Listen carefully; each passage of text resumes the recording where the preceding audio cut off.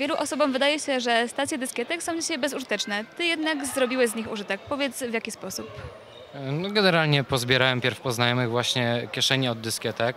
E, No jak e, pani tutaj wcześniej powiedziała, są już nieużywane i w nowych fabrycznie, fabrycznie w nowych komputerach się ich nie montuje. No i po prostu stwierdziłem, że jako jestem muzykiem, też gram na gitarze, tworzę muzykę elektroniczną, no że spróbuję również na tym zagrać. No i zainspirował, zainspirował mnie właśnie e, człowiek, który, e, którego film zobaczyłem w internecie, kiedy e, steruje skanerem w taki sposób, że właśnie też gra melodię.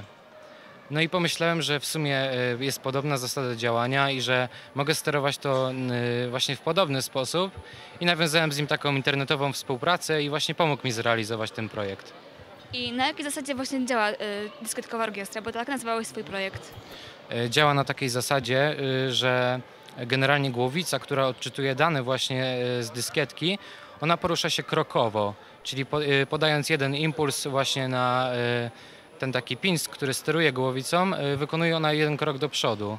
No i ilością tych kroków na sekundę możemy właśnie regulować e, częstotliwość dźwięku. Im głowica porusza się szybciej, to znaczy wykonuje większą ilość kroków na sekundę, tym właśnie e, wykonuje ona dźwięk o wyższej częstotliwości, a jeżeli porusza się z wolniejszą prędkością, to po prostu wydaje dźwięk o niższej częstotliwości.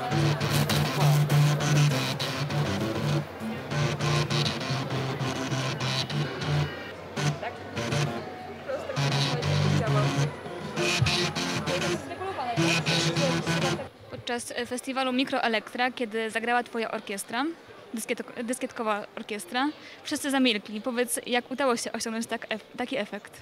No, znaczy myślę, że y, była to dość y, jedna właśnie z takich bardziej egzotycznych prac, której nikt się nie spodziewał na tym festiwalu. I myślę, że po prostu każdy chciał y, usłyszeć w ogóle, co to robi, jak to działa i no nie wiem, z czym to się je generalnie. A gdybym zapytała cię o to, jak możemy wykorzystać y, ten twój pomysł w praktyce, gdzie mogłoby to znaleźć zas- zastosowanie? To jest taka bardziej forma rozrywkowa, wystawowa tego projektu, że on nie ma takiego e, głębszego, praktycznego zastosowania.